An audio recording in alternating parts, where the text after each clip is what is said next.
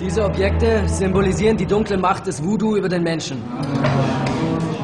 Also Voodoo gibt Macht über die Toten und die Lebenden. Mit dieser Wurzel zum Beispiel kann man die Liebe eines Menschen erringen. Dies hier ist ein historischer Moment. Die Erweckung eines Untoten. Das Hühneropfer? Ist da, ist da der Kopf dabei?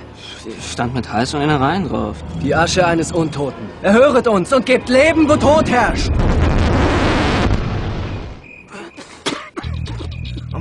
Dieser ganzen Scheiße wir anständige Asche.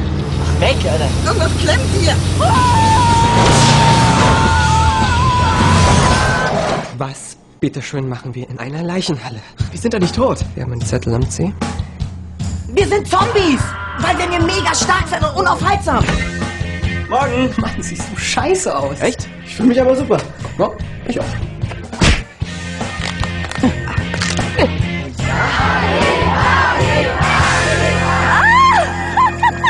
Wie machst du das? Zehn Minuten ohne Luft holen.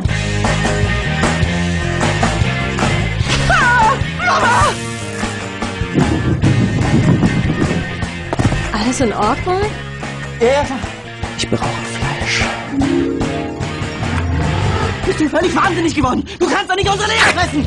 Ich sag mal, bist du blöd? Wie neu. Was ist? Du guckst, als ob dir gleich ein Ei aus der Hose rollt. Was? Oh Gott, nein. Nicht schon wieder.